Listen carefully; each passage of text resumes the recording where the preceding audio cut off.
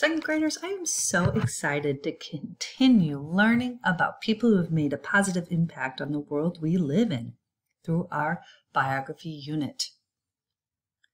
This is a biography of Wu Qiansheng. And when she was born in China 100 years ago, most girls did not attend school. No one considered them as smart as boys, but her parents felt differently, giving her a name meaning courageous hero they encouraged her love of learning and science.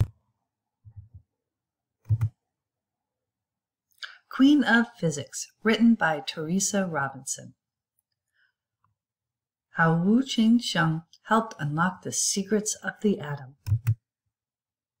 In China, in the small town of Luhe, the Wu family celebrated the birth of a child. The child was a girl. A girl! What would become of her? In those days, girls were not sent to school, not considered as smart as boys, and certainly not encouraged to be scientists. But Mama and Baba Wu did not feel that way. They believed girls should go to school and could become anything they wanted to be. They knew their daughter would be smart and brave, that she would make a difference in the world.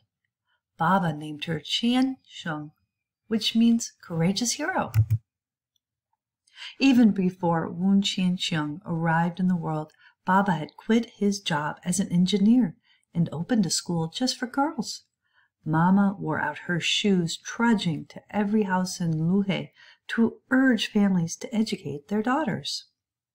So when Qiansheng was ready, a school was waiting for her. Baba was the principal and Mama the teacher, teaching little girls to read and write and count. Baba and Mama were courageous too, as they showed their daughter the way. Soon enough, Qiansheng had learned everything she could from her parents' school. She knew how to count and to add, subtract, multiply, divide. She knew how to read and write hundreds of Chinese words with their strong dots, angled lines, and wispy tails. Qiansheng was ready for more. But in the 1920s, the next closest girls' school was the city of Shuhao, fifty long miles of bumpy, dusty country roads away. She would have to live there far from her family and could only go home for winter and summer vacations. Hmm. Mama wept, Baba worried, but they knew their daughter had to be brave in the world to grow. Qiansheng knew it too, so off she went.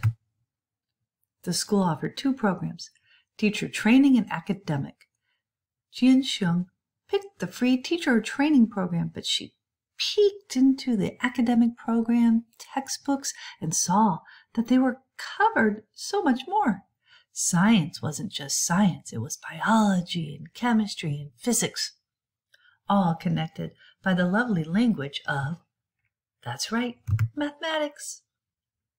Oh, and physics. Physics, the study of the very matter and energy around her, the study of things that could be seen or felt, heat, sound, light, electricity, and motion, of all things too minuscule to be seen or felt, atoms, and even tinier parts of atoms.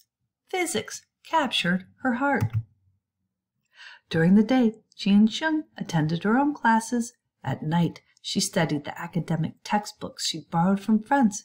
She called it self-learning. It was a habit she would keep up for the rest of her life. Her classmates noticed that Qiansheng worked extra hard and was not afraid of challenges. They asked her to be their leader in their underground group to fight against the government.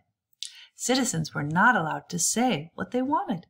If they supported the wrong political party or said the wrong thing or happened to be at the wrong place at the wrong time, they could be punished, perhaps even killed, by the government, by the warlords, by rich and powerful foreigners who lived there.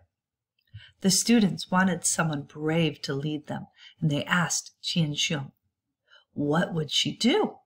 What could she do? Baba had named her courageous hero.